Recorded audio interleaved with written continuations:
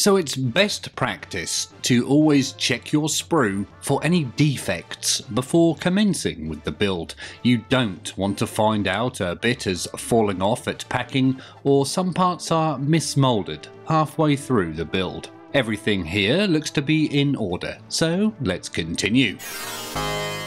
Now before we get into the meat and potatoes, I thought I would first let you know that this is the first episode in yet another painting series. This time it's going to be a Tyranids painting log or series. And we will be starting with the Tyranids from the Leviathan box. Obviously. Let's kickstart this assembly process by carefully cutting the parts off the sprue. Instead of cutting off all the components at once, I prefer to take it step by step, closely following the instructions. Some people like to cut the entire lot off the sprue in one go, but I can't quite bring myself to do that. My OCD says no. Oh, by the way, to cut the parts off, I use a pair of Tamiya sprue cutters or plastic cutters. The best cutters I've ever used, and I can't recommend them enough. So here we have the first part of the sprue. It's a rather large part, isn't it? This is the main body of the Screamer Killer. It looks to be very well moulded, and the detail is rather good. But before we can assemble it, we need to tidy the part up. We have here the return of Andy the Knife.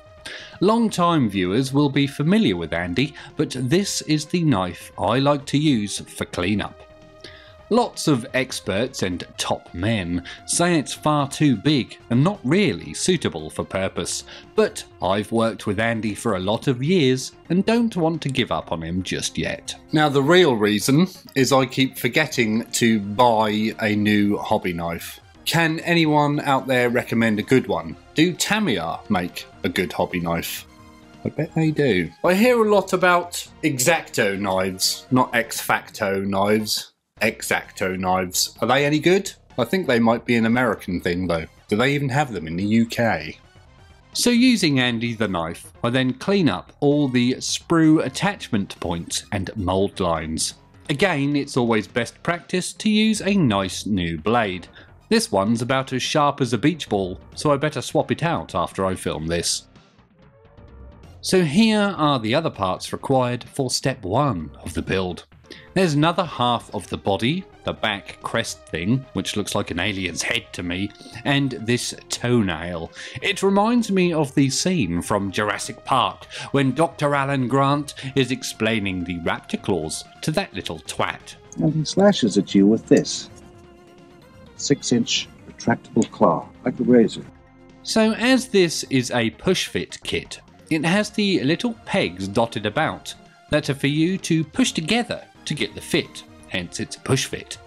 I always find I can never squeeze them into the holes as they always just seem too tight.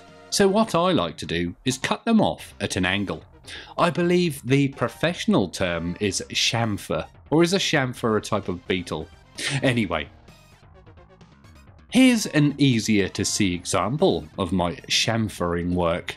You will find the shafts slide into the holes a lot easier if you give them a little pointed tip.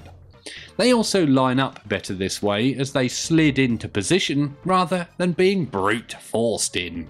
Now some people have been known to cut their shafts off completely, but I'm not sure there's enough of an obvious seam there to make sure those parts locate properly so I don't dare cut the entire shaft off, just in case I need them to locate. To glue our bits together, we need some glue. I have a pair of glues here and both are polystyrene cement, but one is thick and one is thin. The thick is for gluing big parts together and the thin is for fine detail work and wicking. We'll get to that later. Again, I'm using Tamiya as it's by far the best out there. Now sadly I've seen a few of these Screamer Killers built with a big gap down this back section. I don't want such a gap and made sure I put plenty of glue in and gave it a good squeeze. I also held it for a fair few seconds to make sure it wouldn't open up again. there's still a fine line where that seam is, so I wicked in some of the thin polystyrene cement. It's brilliant for this sort of thing. It also has some other handy uses, which I shall show you later on.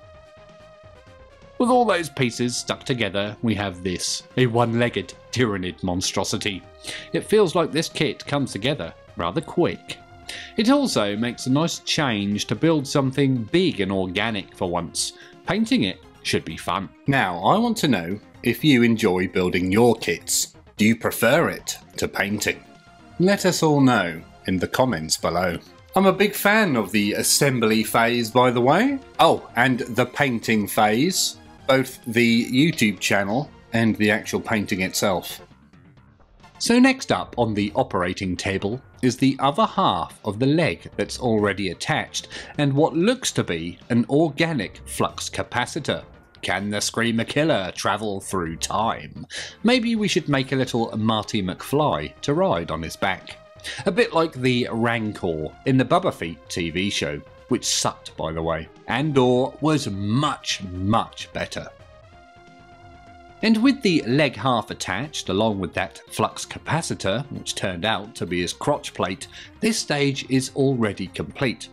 Seriously, his crotch plate thing reminds me of my old cricket box. You wouldn't want to leave home without it. Now I have to admit I do miss my cricket playing days. We won the league, you know. I'm going to have a look and see if I still have the photos.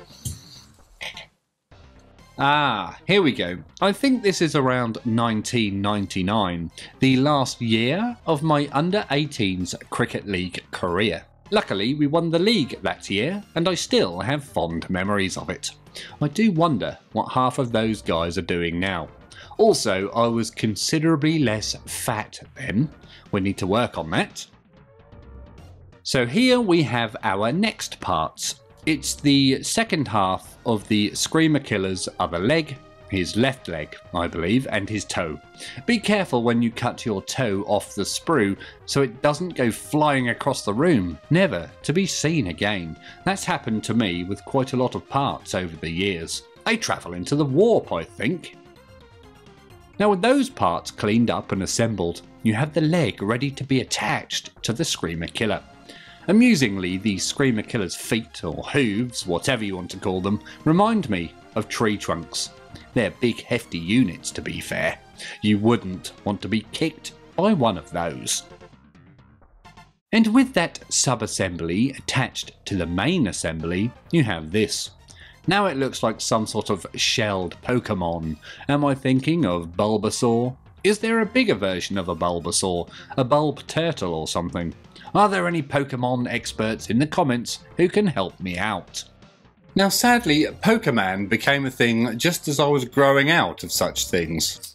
Oh, probably around the same time we won that cricket league. Cricket. It's my Norfolk accent coming out there. I do apologise. Cricket. Anyway, I need to shut up about that. Anyway, Pokemon.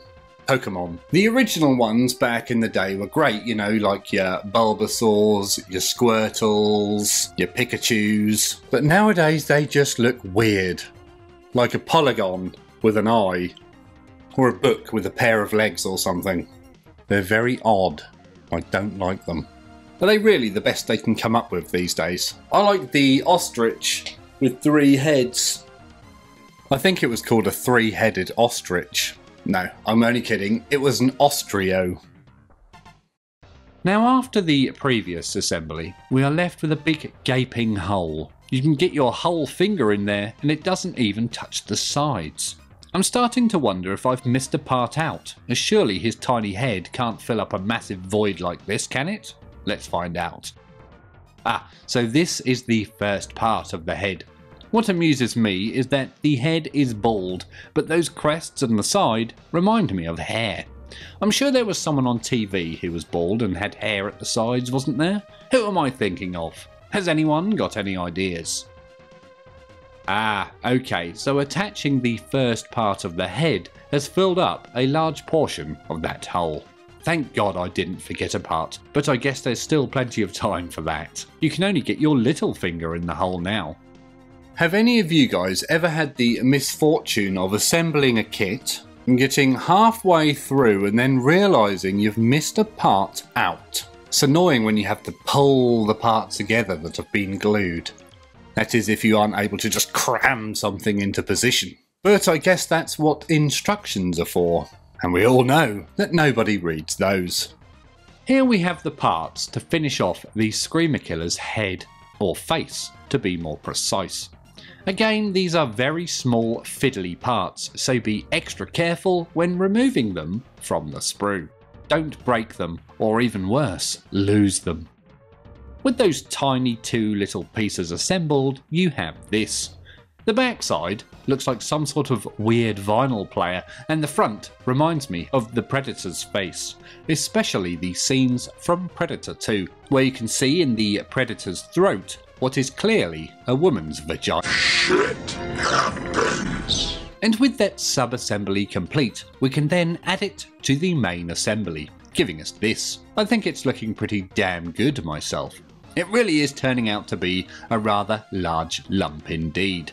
Not something you would want to run into in a dark alley, although without arms it is a little less intimidating. Now this got me a thinking. If a T-Rex fell over, how on earth would it get back up? They had tiny little arms and I can't see how that would help push them back up off the ground. Did they use their tail? Or did they flip themselves onto their feet like Bruce Lee?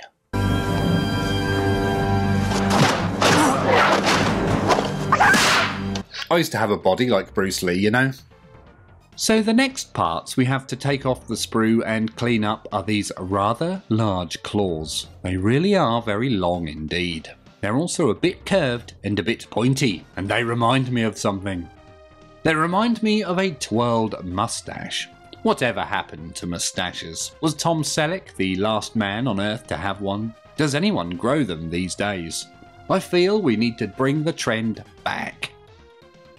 There was no sub-assembly to do with those moustaches, I mean claws, so we got those all stuck on pretty sharpish.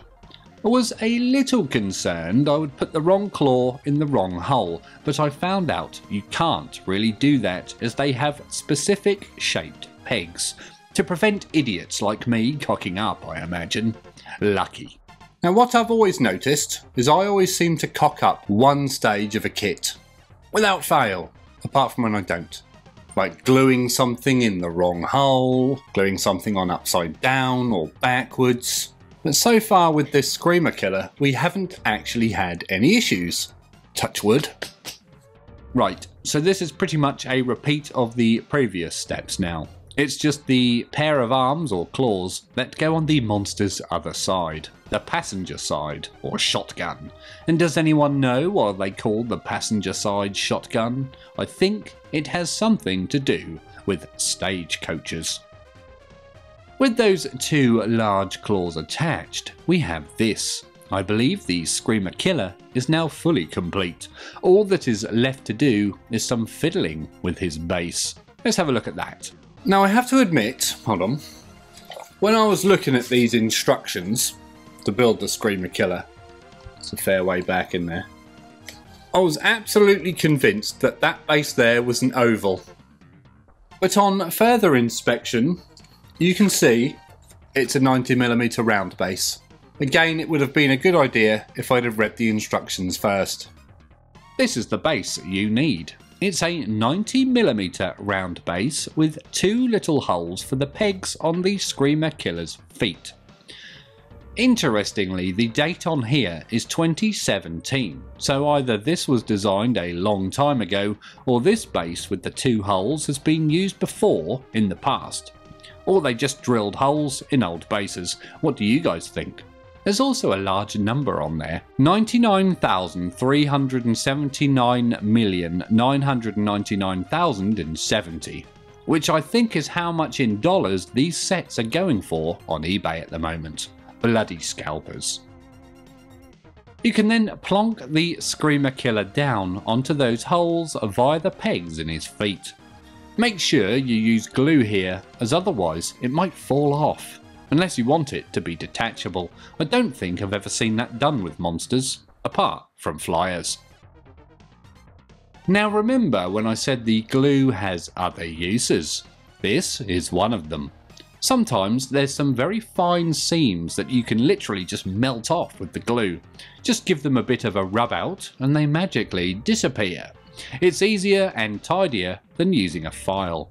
I just go over the miniature at the end and catch any that I see. Here's what the Screamer Killer looks like next to a Contemptor Dreadnought. I have to admit, it's turned out considerably bigger than I actually had in mind. I expected them to be around the same height. Those claws really give the miniature some width. It's going to be a pain in the arse to store and display. Oh well, we'll figure that out when we get to it. So what do you guys do when you've finished painting your miniatures? Do they go on a shelf for display? Do you just put them away in storage?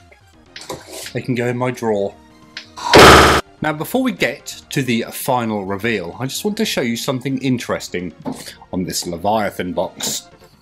Not this bit of fluff here, I thought that was a spider. Turn it the right way up. Where is it? Ah, down here.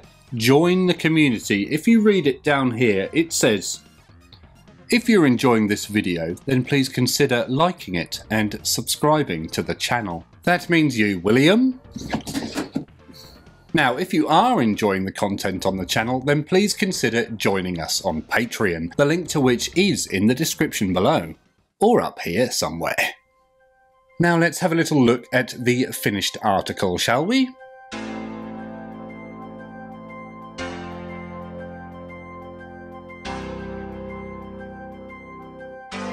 So here it is, the Tyranid Screamer Killer. It's a glorious miniature, and the first Tyranid I've built for quite some time. I was genuinely impressed with this kit, as it has no major join lines or any nasty mould lines to clean up. The instructions were clear and concise, and I had no trouble whatsoever putting it together. The only issue is figuring out where to store it. My next job will be to tackle the base, which I shall do off camera, and then we will be painting it in the next video. I'm really looking forward to it. It's going to be a nice Oldhammer throwback. I cannot wait to get that painted. If you want to see some more videos in this Tyranid painting series, check out the link up here somewhere. And as always, thank you very much for watching.